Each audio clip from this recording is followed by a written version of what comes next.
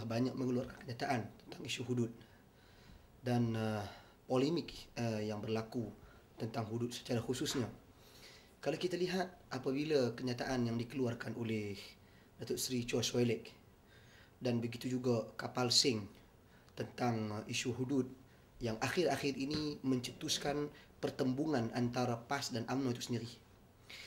Khususnya akhir ini bila Chua Swee Lek mengeluarkan kenyataan tentang hudud, analisa yang beliau lakukan sendiri. Analisa yang beliau lakukan tentang yang berkaitan dengan hudud yang mana beliau menyatakan hudud yang beliau maksudkan di situ adalah hudud yang disusun dalam enakmen jenayah syariah PAS sama ada Terengganu ataupun Kelantan. Itu yang beliau jelaskan dan itu yang kita faham daripada penjelasan beliau. Walau bagaimanapun secara prinsipnya saya sebagai umat Islam ia tetap menyentuh sensitiviti umat Islam. Dan begitu juga tindakan yang diambil oleh PAS kerana ianya menyentuh sensitiviti umat Islam. Kita hormati pendirian mereka. Tetapi persoalannya mengapa apabila kenyataan dikeluarkan oleh Datuk uh, Choi Soelek ini uh, yang berasaskan analisa beliau beliau sendiri tentang isu hudud mereka begitu beria-ria bahkan sehingga beberapa uh, sahabat saya daripada PKR sendiri pun termasuk uh, Cik Gubat uh, dalam Twitternya Twitternya kepada saya meminta agar saya bersuara sedangkan apabila kapal sing bersuara di mana suara-suara mereka adakah uh, berlaku diskriminasi di sini hanya ke- kerana kepentingan politik? Sedang saya bersuara di kedua-dua pihak. Saya katakan saya tak bersetuju dengan kenyataan Datuk Choi Suelik kerana ia menjadi sensitiviti umat Islam. Dan saya juga tak bersetuju dengan kenyataan kapal sing kerana dia mencabar umat Islam dengan darah. Mencabar dengan darah. Over my dead body. Ha? Itu cabaran tu. Okay? Jadi kedua-dua kenyataan saya tak bersetuju. Walau bagaimanapun, kita tidak prejudis. Sama ada Choi Suelik ataupun kapal sing kerana kita meletakkan Islam di peringkat yang tertinggi. Tetapi apa yang berlaku pada hari ini PAS dan PKR apabila kapal sing bersuara sunyi sepi. Tetapi apabila Chua Syualik bersuara hampir ada pihak daripada kalangan teman-teman kita PAS nak mengadakan demonstrasi di hadapan Wisma MCA. Adakah kalian pernah buat demonstrasi di hadapan uh, pejabat pusat DAP contohnya? Kerana kenyataan DAP.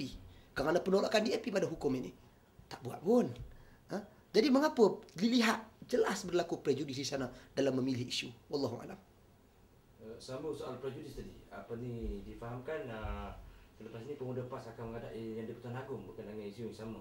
Jadi dalam soal ni Ustaz, apa ni adakah ini melambangkan bahawasanya mereka mengutamakan rakan. Ini yang kita dipanggilkan asobian. Maknanya dia mengutamakan rakan dalam soal ni Ustaz. Boleh penjelasan lebih sikit?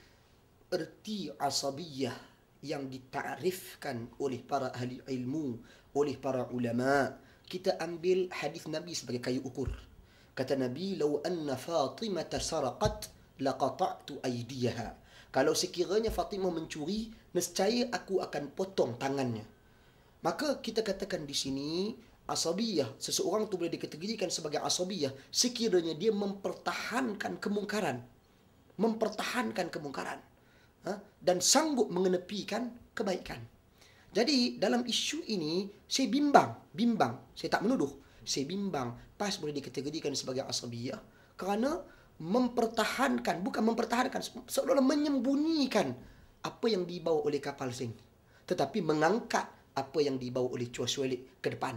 Jadi di sini wujud asabiyah mempertahankan teman sendiri semata-mata kerana kepentingan. Tetapi bila melihat orang lain ataupun boleh dikategorikan musuh dalam kurungan, mereka mengangkat dan mereka menyebarkan, mereka mewar-warkan secara besar-besaran. Jadi kira berlaku ketidakadilan dan berlaku di sana konsep uh, konsep asabiyah. Dan saya minta juga kepada UMNO sendiri. Jangan juga asyik bercakap pasal kapal sing sehingga terlupa pasal isu Datuk Seri Choi Solik. Kita perlu adil agar perkataan asabiyah itu bebas daripada kamus perjuangan kita. Wallahu a'lam. Pendekatan ilmu dalam isu ni macam mana Ustaz? Boleh Ustaz elaborate sikit? Pendekatan kita kita pergi kepada penjelasan, kita pergi kepada fakta dan ilmiah. Ha? Cuma pada hari ini insya-Allah kita sedang menyusun ha? uh, pertemuan dengan Datuk Seri Choi Solik. Kerana ini kemampuan kita. Kita mungkin tak mampu dengan kapal sing. Mungkin kita berharap ketua pemuda PAS daripada dia pergi ke Wisma MC buat demonstrasi, lebih baik susun program bertemu dengan kapal sing, memberikan penjelasan dan pendedahan tentang hukum Islam yang sebenarnya. Yang jelas disalah tafsirkan oleh kapal sing. Ha? Tugas kita yang mana yang mana kita dekat kita rapat dengan uh, uh, MCA dari sudut uh, hubungan dalam parti komponen kita katakan. Jadi senang untuk kita berurusan dan senang untuk kita bertemu. Ini usaha dan tindakan yang kita lakukan. insya-Allah kita berusaha untuk tidak prejudis dalam berbicara tentang Islam. Kita tak kira sama ada AMNO sama ada MCA MIC sama ada PAS sama ada PKR ataupun DAP kita tidak prejudis dalam membicarakan tentang hukum Islam. Yang benar-benar yang salah adalah salah. Allahu a'lam Ustaz, uh, saya ingat uh, satu satu kata-kata daripada pemimpin PAS ni, saya ingat siapa cakap. Apabila keluarnya statement daripada kapasi Ling Li Siang dan Guaing berkenaan dengan hudu. Uh, mereka mengatakan tak apa dia orang komen pasal hudu sebab dia bukan Islam. Dia tak pasal, pasal Islam. Tapi bila ter, Cik Salih keluarkan uh, perkara semikian, hal yang sama, tak keluar pula apa yang dia cakap dekat DPJ. Boleh Ustaz jelaskan sikit?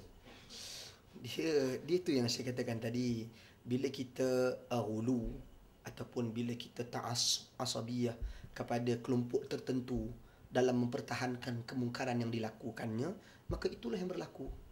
Kita sentiasa berkata baik kepada teman kita walaupun ianya salah. Sedangkan prinsip nabi sanggup memotong tangan anak baginda sendiri sekiranya salah. Walaupun itu adalah anak dan keturunan baginda sallallahu alaihi wasallam Maka kita perlu berperhentian sedemikian rupa walaupun teman walaupun kawan.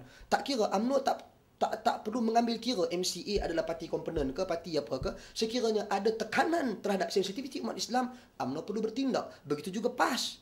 Dia tak perlu kira oh ini kawan. Mengapa sepatutnya dia mencari ruang untuk berteman dan bersahabat dengan UMNO?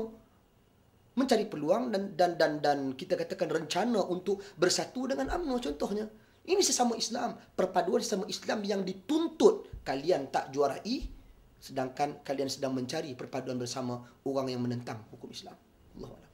Ustaz, uh, isu yang terbaru juga dalam dua minggu lepas. Ulama masuk UMNO hanyut. Boleh Ustaz kompreskan benda tu sikit? Dia kenyataan yang dibuat ini saya kira terlalu umum. Ulama masuk UMNO hanyut. Saya kira sangat terlalu umum dan ia memberikan satu persepsi yang negatif. Ha? Sedang saya kira ini merupakan hukuman kepada seolah-olah semua orang-orang ilmuwan-ilmuwan Islam yang berada di dalam UMNO. Ini perkataan yang sangat tidak adil. Kata Allah di dalam Al-Quran, "Wala yajrimannakum syana'anu qaumin ala alla ta'dilu." i'dilu huwa aqrabu littaqwa jangan kerana jenayah sesuatu kaum menyebabkan kamu berlaku tidak adil ke atas mereka adillah sesungguhnya keadilan itu lebih dekat dengan takwa maka orang yang mengeluarkan kenyataan seperti ini dia sewajarnya lebih adil dalam menghukum sewajarnya dia spesifikkan dalam bab apa dan siapa yang terlibat walaupun tak dinyatakan nama tetapi dinyatakan permasalahan dan konflik yang berlaku ha? sebelum ada dalam hukum kerana keadilan itu lebih dekat dengan takwa. Jadi saya mohon orang yang mengeluarkan kenyataan seperti ini agar bertakwa kepada Allah Subhanahu Wa Taala, ha? agar lebih adil dalam berhukum yang akhirnya membawa kepada ketakwaan. Ha? Sebab isu ini isu perbezaan pertembungan kalau dia nak minta ulama dalam UMNO hanyut, adakah ulama dalam PAS tidak hanyut? Bagaimana dia dalam PKR? Bagaimana ulama yang tidak ada dalam mana-mana parti tetapi bila berada di atas pentas parti tersebut dia bercakap menyokong parti tersebut. Bila berada dalam pentas parti yang lain pula dia bercakap menyokong pentas parti tersebut. Ini lebih teruk, ini lebih parah.